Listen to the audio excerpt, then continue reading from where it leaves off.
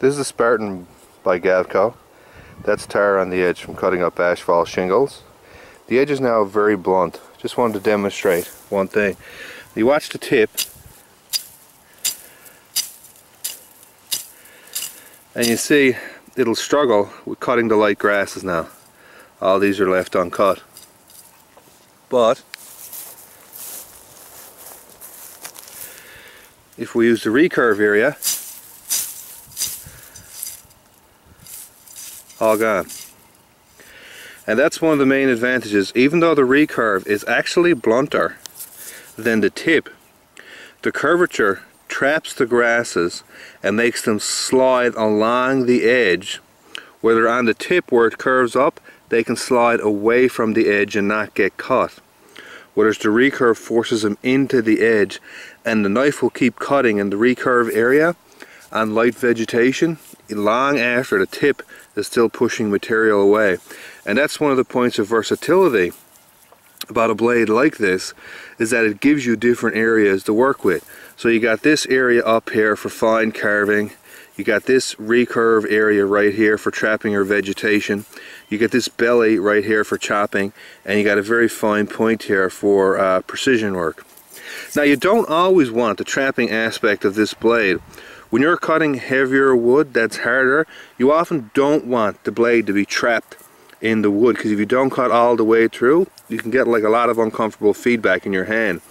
So on heavier woods, you often want to be working up here, and if you don't make it all the way through, the blade continues, it comes out, and you cut it on a second pass, you don't get that solid bring up. Here's another of the harder tasks for a knife. This is alder. It's a very, very invasive species. Uh, one of the nice things about it though is it does enrich the soil. So in very barren parts, you'll often see alders come in, and then other nicer trees will come in right behind them. And I've actually got some spruce, pine, fir planted all around in this area, and I don't want it filled up with alders. Now chopping these down does absolutely nothing. They'll just keep growing back. You've got to remove the root bulb didn't get you that time. Got you that time. Like that and get rid of it. Now of course jamming the tip into the ground again not very nice for trying to keep the edge sharp. But if you have a rather tough steel like this you're not going to get much in terms of chipping. You should just get some impaction. And you can, camera, you can probably see a little bit of there where the edge is now starting to reflect light. But again, I had some hard things that I needed to do today, so this was an example of them. I got about 20 of these little things I need to dig up, so I'll get that done now. Here's another alder. Now you sort of want to be careful of big rocks like that. I mean, you don't want to grate the edge into that if you don't need to.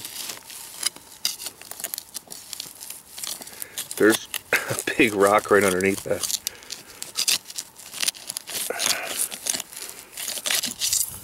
Tear it straighten off the edge.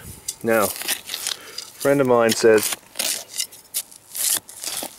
he has a nice little birch for me, so I'm just going to loosen this up. That's what I was grating into. That buddy right there. Out of the way. So, move these out of the way. Till the soil up. Hopefully I'll get my birch now this afternoon. There's a big one there, I think. Yep. I'll plant that. Now, you want to be careful, of course, because you can take a piece off the tip of the knife if the steel is not that durable and you trap it in behind a rock. But this is a rather tough steel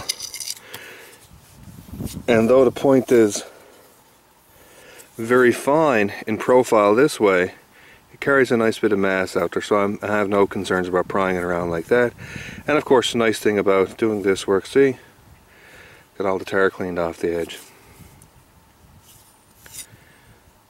So I have the same thing done about another 20 or so little trees I need to get rid of, but I'm not going to till it up because I'm not replanting.